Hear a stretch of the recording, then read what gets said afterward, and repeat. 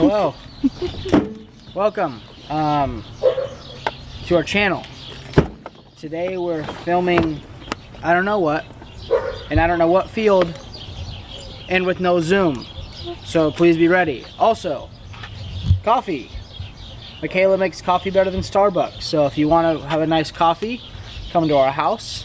It's only gonna be $5 instead of 6.50, And you have a to-go cup with the straw. Thanks for coming. See you soon.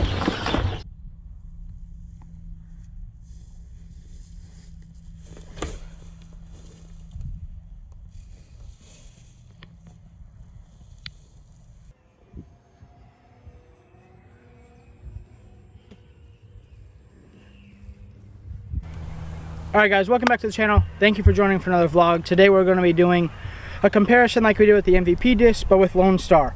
So today we have the Warbird, the Lariat, the BB6, and the Penny Putter. We're going to compare that against the Finish Line Pace, the Finish Line Supra, the Finish Line Era, then the Halo Boss. So today it's going to be the same type of video as last time where we're going to, I've already thrown all these so I know obviously what they do. Um, I'm going to compare them, what I like, what I don't like, what I might prefer, what I don't prefer um, in the video and then you guys are gonna have an idea of what these discs do and how they fly compared to the discs in my bag. Let's get it started. Penny putter, finish line pace. Same kind of thing as the Envy. This is a little thinner of a disc. Um, when I throw a putter, I more so like a little thicker of a disc. Um, but throwing it does fly very good.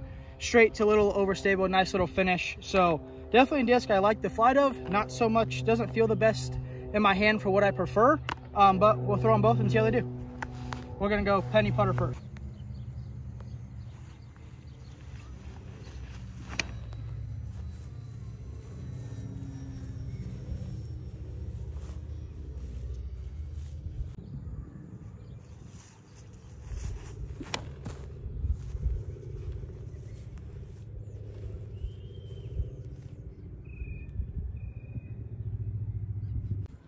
So I like the stability of the pace a little bit better.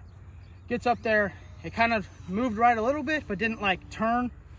Penny putter's a really good putter, just not really what I'll be looking for for that slot in my bag as a premium throwing putter. So if I wanted putter to go right, typically I'll have a beat up uh, KC Pro or softer type of plastic as a right going putter.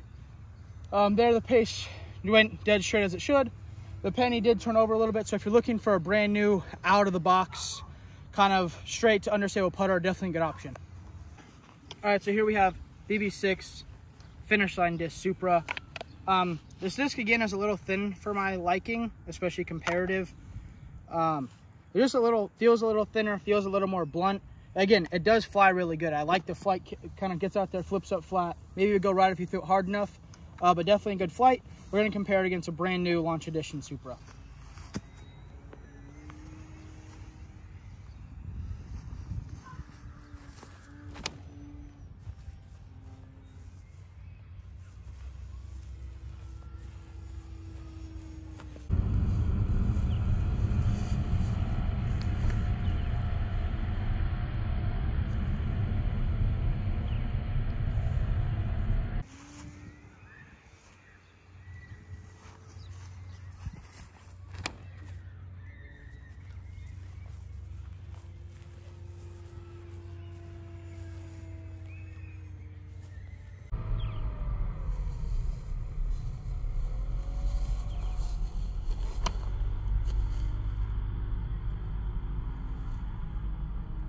So again, same kind of thing there with the BB6 versus the Supra.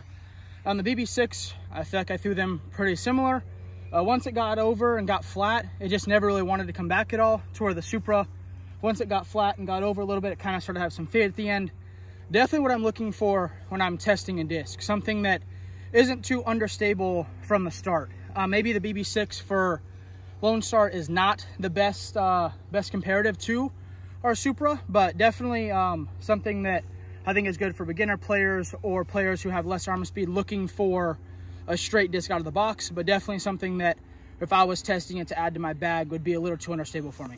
So here we have Era versus Lariat. Um, feel pretty similar in the hand.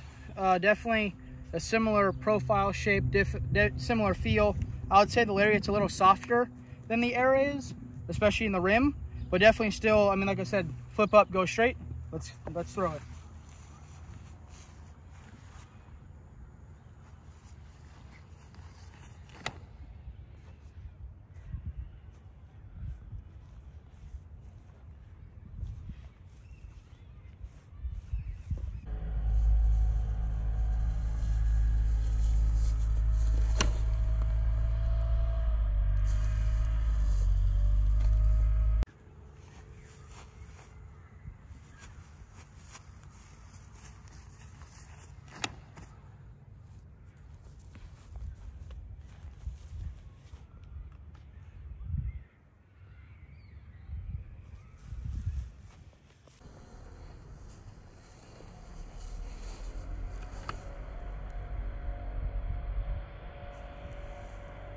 So I'd say Lariat and finish line disc era, very similar discs. As you can see, I kind of got the era too high and too turned over. Um, but again, as I mentioned, I, the fact that it didn't kind of burn over or land on edge is good because that could still be in bounds for a par four or something or a long upshot, but not on line, not what I was hoping for. Lariat definitely flew great. Um, that disc definitely impressed me. Definitely a good disc for any skill level, any arm speed. Um, might be a little more overstable for some and more understable for others, but definitely a good disc, definitely comparable the finish line disc era and the Lone Star Lariat.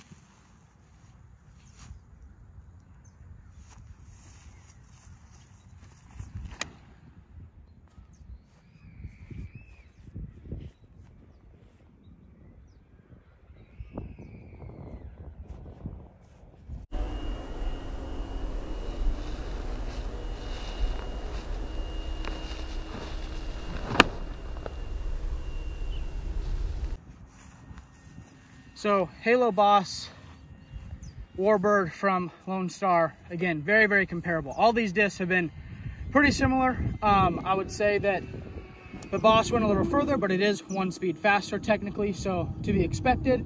But the Warbird, for being how soft it is, a little gummy for me, but still flew great. I mean, that would be a reliable, overstable driver for anybody. Um, really enjoyed Lone Star disc. I want to give a huge thank you to Infinite Disc for sending me the disc, sponsoring me, you know, sponsoring a bunch of events across the country. Make sure to support them at infinitedisc.com. They're a big supporter of mine, big reason this YouTube channel is going. So thank you guys for watching. We'll see you in the next one.